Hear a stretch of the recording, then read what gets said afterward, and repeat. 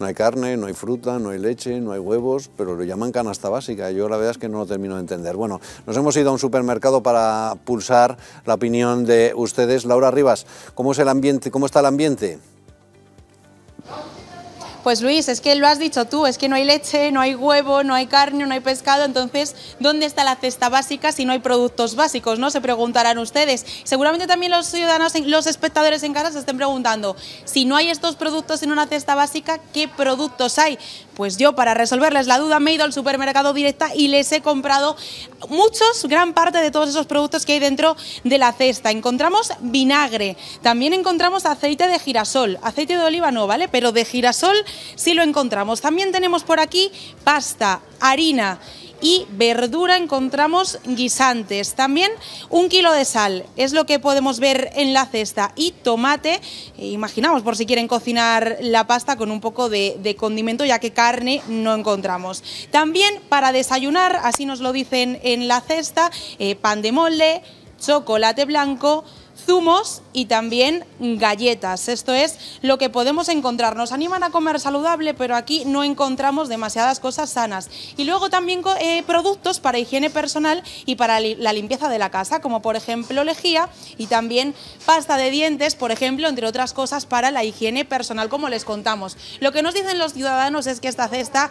que tampoco es tan barata, eh, que tampoco incluye tanto, porque estos productos, si los compramos de marca blanca, incluso en algunos supermercados se pueden encontrar por menos dinero que por 30 euros. El problema viene cuando ya le metemos carne, pescado, huevos, leche, con los altos precios que tienen en el, supermercado. Por eso, por esa razón, entendemos Yolanda Díaz no lo ha incorporado a esa cesta. Pero es que lo estás diciendo tú, Luis, una cesta con productos básicos, sin productos básicos como la leche, el huevo o la fruta incluso, pues no es una cesta básica. Pero esto es lo que nos dicen los ciudadanos. Pero ¿qué nos dicen los pequeños negocios? Muy buenos días. Muy buenos días. Los pequeños negocios que no podemos competir con un grande supermercado. Nosotros somos pequeños autónomos, gente que compra calidad y compramos todos productos nacionales. Las grandes superficies traen géneros de extranjeros y al final grandes superficies hacen números. Sí, te pongo un litro de leche a 50 céntimos, pero la Coca-Cola o el refresco te lo subo 20 céntimos. Y ellos echan cuentas a final de año. Ellos sus números tienen que ganar X millones al año, les da igual de una manera que de otra. Y José Luis, lo estamos diciendo, una cesta básica, pero no hay carne, no hay huevos, no hay leche. ¿Qué cesta básica es esa? Porque tú eres carnicero, lo estamos viendo aquí. La carne no entra dentro de la cesta. No, lo que ve ellos no. O sea, ellos entran en lo que ellos quieren tener. Ni más ni menos. O sea, yo tengo carne y tengo que vender carne, no me digo otra cosa. ¿Qué carne sería la más barata que pudiera entrar en esa cesta? Ahora mismo yo digo de hacer un cocido. Un cocido para cuatro personas te puede costar entre 8 a 10 euros y es un cocido que tienes para dos comidas. Si eres un poquito habilidoso, al día siguiente, el tercer día, haces unas croquetas. Y por lo menos, pero no por un, por un euro tenga que conseguir un cocido. Que aquí hay una serie de gastos que hay que pagar todos los meses. Pero es que así se alimentan la mayoría de las familias, con cocido, con fruta eh, para merendar, no con los productos que hemos visto, ¿no? ¿Qué hacemos con unos guisantes y qué hacemos con unos macarrones y además nos hemos gastado 30 euros? Sino que te gastes 30 euros en unos macarrones y unos guisantes, que eso cuesta un tiempo cocinarlo, eso cuesta un tiempo de luz, que es que no son 30 euros. Que es que no nos damos cuenta, hay gente que no sabemos lo que decimos. ¿Qué opinas tú, José Luis, de que se ponga un tope a los productos? Porque tú, por ejemplo, tienes aquí unos precios. Si te topan a ti el precio, ¿qué pasa? Yo muy sencillo, si a mí me dicen, usted tiene que vender los filetes de ternero en vez de a 15 a 6. Bueno, pues eh, yo tendré que ganar dinero también, ¿no? Porque yo estoy para ganar dinero. Que hablen con el ganadero o que el gobierno en este caso pague a los ganaderos. Si ahora mismo cuesta una ternera muchísimo dinero. Mm, ¿Qué quieren? No sé qué quieren conseguir con esto. El Estado ya ha recaudado, gracias a la inflación, a los altos precios que tenemos, el triple de lo que da en ayudas. No sé si tú has recibido algún tipo de ayuda en algún momento con estos precios que tenemos. Sí, ayuda sí, en el impuesto de la luz. Eh, eh, hay gente que se acuesta del gobierno pensando y diciendo, me voy a acostar y voy a pensar para mañana cobrar algo nuevo. Ha cobrado un recibo ahora, nosotros es un mercado aquí.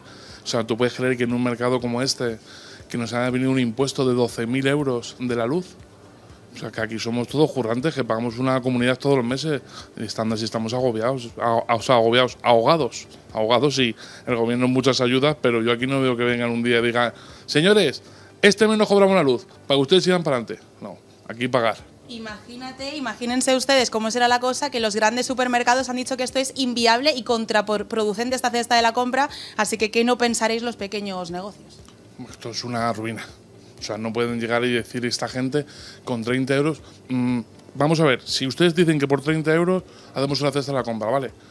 Mm, señora ministra, señora de gobierno, sea quien sea, me da igual el partido que sea, por 30 euros a ver si comen en su casa, porque yo creo que allí no se come en su casa unos macarrones. Está claro. Luis quiere hacerte una pregunta. Luis, cuéntame que yo se la traslado. Sí, bueno, eh, quería preguntarle si, si, si, eso, si ese topado le llegara también a ustedes. Muchos de ustedes, me imagino, me temo, que tendrían que llegar a, a echar el cierre, porque sencillamente los números no salen. Me dice el presentador Luis Losada que si ese tope de precios llega a ustedes, incluso podrían tener que plantearse el cierre, ¿no? Porque los números no salen. Hombre, por supuesto, el cierre está asegurado. Pues nada, nos ponemos a la cola del paro y como aquí dan dinero para todos lados, pues también nos toca a nosotros. Pero claro, es autónomo y que no tiene derecho a paro. Para pagar sí, pero para cobrar un paro no hay derecho. Que es una vergüenza, vergüenza. Pues muchísimas gracias. Nada, gracias a muchísimas gracias por habernos atendido. Esta es la situación, Luis. Esto es lo que opinan los pequeños negocios. Ya se lo avanzábamos que los supermercados están en contra porque ven la cesta de la compra inviable y contraproducente. Estos son los, los adjetivos que han utilizado también los pequeños empresarios, pero es que también hemos, hemos preguntado, Luis, perdona. Sí, sí. Sí, te quería preguntar, Laura, sobre, sobre esa cesta de la compra, que la verdad es que estoy bastante impresionado. No sé muy bien por qué Yolanda Díaz no ha consultado con las amas de casa, que seguramente habrían hecho una cesta más adecuada. Porque yo con esos productos que nos has enseñado, la verdad es que no sabría qué comer hoy. Porque ¿qué hago? ¿Una pasta con guisantes y ya está? Chocolate. Eh, porque no le voy a echar lejía, ¿no?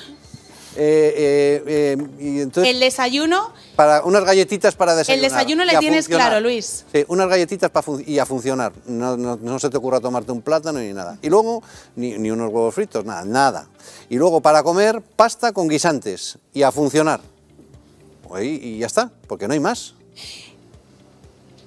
El desayuno le tenemos claro, Luis, por lo menos nos comemos unas galletitas y un chocolate blanco. El problema es a la hora de comer, a ver qué comemos, porque si no hay carne, no hay pescado y no hay fruta, a mí se me acaban las ideas, no sé a ti.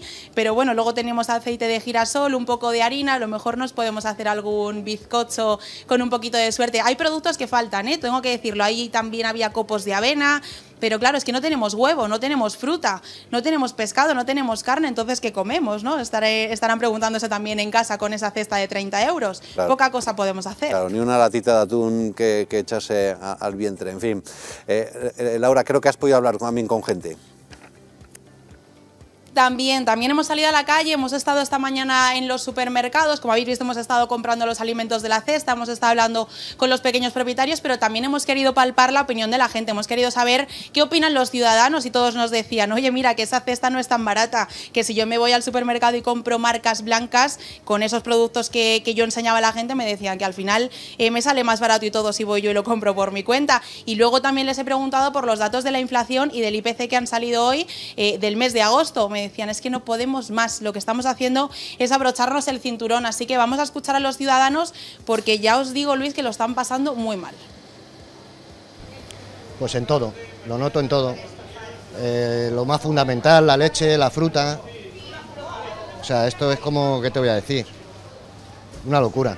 Pues en todo, en todo lo que se compre está todo, ha subido todo un montón y los sueldos son los mismos, o más bajos quizás. La gasolina, la luz, el gas, todo. ¿Qué voy a hacer? Pues estirar el... apretarme el cinturón y, y gastar sin pasarme, claro.